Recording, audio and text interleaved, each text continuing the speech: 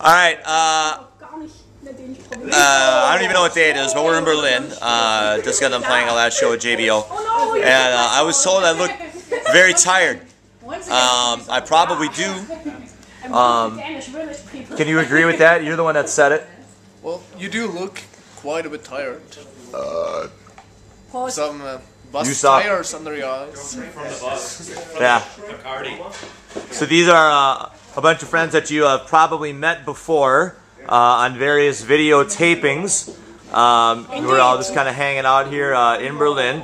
Um, and again, one of the uh, the very cool things about uh, Beatallica coming to Europe is that you know if like we're in Germany, it's not just the Germans that are here. It might be the Danes, or it might be the English, or if we're in Switzerland, it might be Germans coming in, or if we're in the Netherlands, it might be French coming in, and that's always a really cool part of uh, Beatallica shows in Europe, especially this time of year. Joke way too far. Yeah.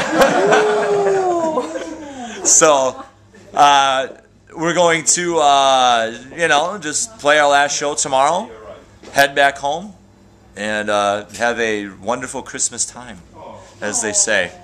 So, uh, we'll see you guys uh, after about 24 more hours of us not sleeping. It's the truth. It's the truth.